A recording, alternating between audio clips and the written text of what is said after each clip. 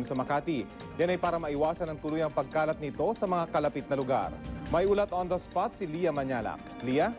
Rafi, kinumpirma ngayon ng Environmental Management Bureau ng DENR na mataas ang bilang ng presensya ng gasolina sa lumalabas na tubig sa basement ng West Tower Condominium sa Makati. 19.4 parts per million ang naitalang presensya ng gasolina sa basement 2, one- se- 17.5 sa basement 3 at 16.8 sa basement 4. Pinakamataas sa basement 2 dahil sa dito raw unang nakita ang gasoline leak.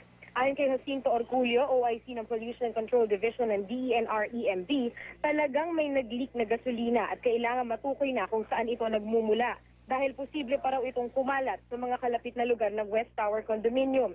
Maari daw na singlayo ng 500 metro mula sa West Tower ang pinagmumula ng leak. Itong West Tower Condominium ay may wastewater treatment facility, apat na pong talampakan sa ilalim ng lupa. Bukod doon ay may collection pit din ito o sump pit na nagkokolekta ng tubig na natural na bumubulwak mula sa lupa. Sa collection pit o sump pit na ito nga may humalong gasolina. Bukod sa pipe ng tatlong malalaking oil companies na nasa ilalim ng West Tower patungong Pandacan at Batangas, dapat din daw tignan na posibleng source ang tatlong malalapit na gas station sa lugar at kung may pabrika na nag-iimbak ng produktong petrolyo na malapit sa kondominium. Hindi rin daw posible na natural na langis ang naglilik sa West Tower ayon sa DENR dahil sa 100,000 feet pa below the ground ang dapat na hukay para magkaroon ng natural na langis. Samantala, tiniyak ng DNR na ligtas ang basement ng West Tower sa anumang posibilidad ng pagsabog. Nagpadala na rin ng malaking treater tank ang DNR sa site para mas mabilis na mahigop ang tubig na may kasamang gasolina.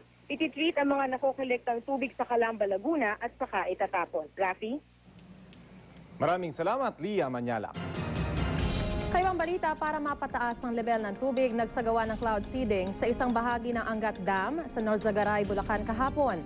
Daan-daang kilo ng asin ang isinaboy sa mga ulap para makalikha ng ulan. Balitang hatid ni GMA News stringer Romel Ramos.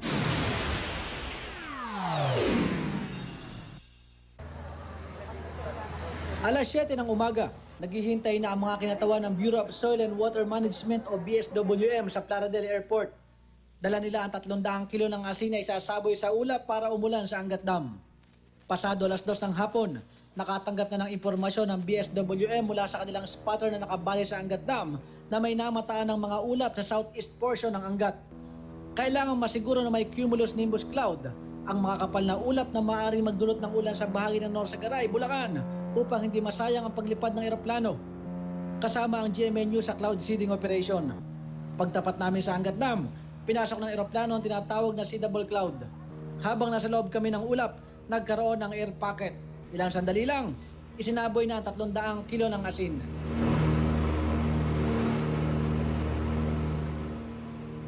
Isang oras din nagtagal ang cloud seeding operation. nandun yung magandang upcap, si moisture, and ma medyo mature na yan. Hopefully, hopefully umulan siya talaga. Yung first sortie natin, ano, ah, very, siguro successful siya gawa nung merong namuong cloud doon sa sa Angkat Dam, ah, base doon sa spotter natin doon sa monitoring doon. Mula sa Bulacan, Romel Ramos, GMA News. Good news naman, patuloy na tumataas ang water level sa Angat Dam. Bunsod daw ito ng magkakasunod na araw ng pagulan doon.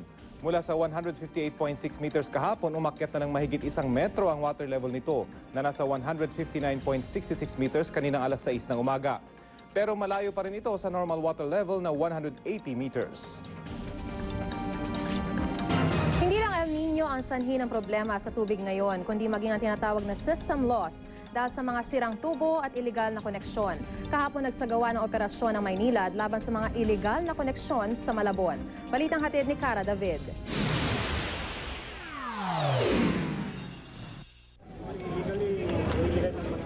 Lang ang tubig sa mga tumatagas na tubong ito sa sitio Kadima, Malabon.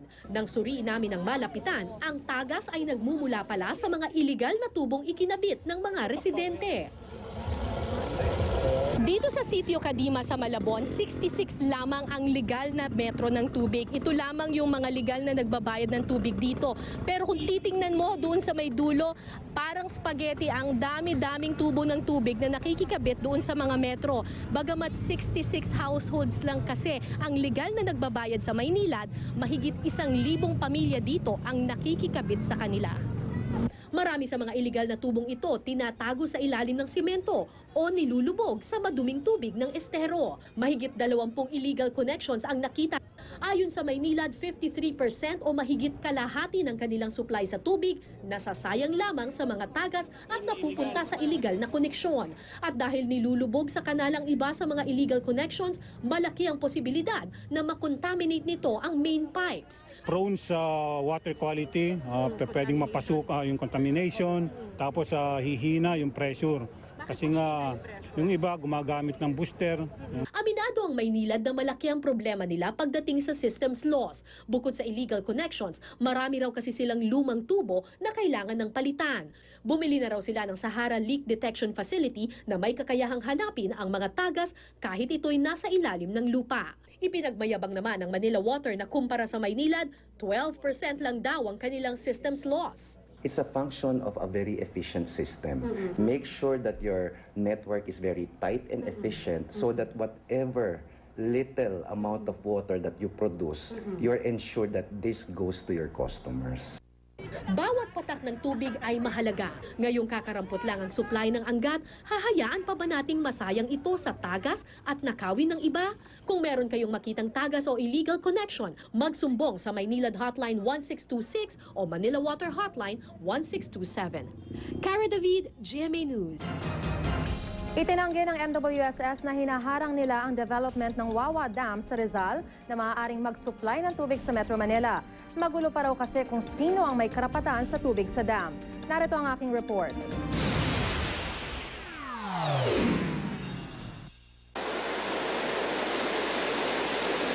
Lakas ng agos ng tubig sa Wawa Dam, tamang-tama raw sana ito para punan ang kakulangan ngayon ng tubig sa Metro Manila. Pero mukhang magiging pahirapan muna bago mangyari ito. Kailangan pa kasing makuha ng San Lorenzo Ruiz Builders ang full water rights mula sa National Water Resources Board at purchase order mula Manila Water at Maynilad.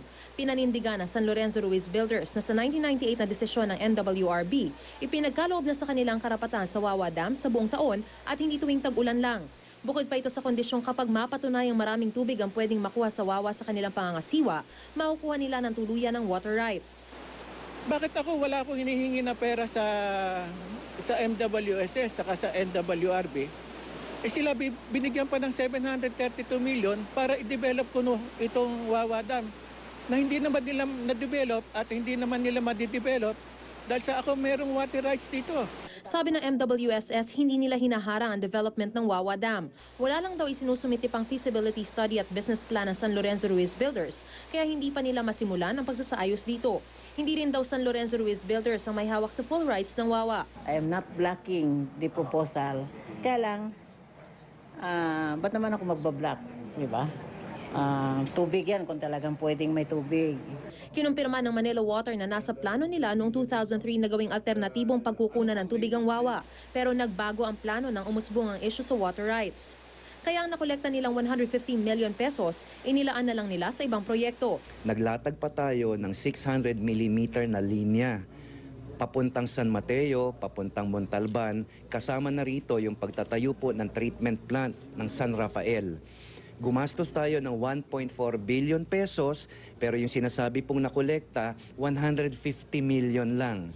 So kumbaga sobra-sobra pa yung ginastos natin kumpara dun sa sinasabing nakolekta. Pero desidido ang San Lorenzo Ruiz Builders na ilaban ang kanilang karapatan. Nangangamba naman ang ilang residente kung tuluyang ma-develop ang Wawa.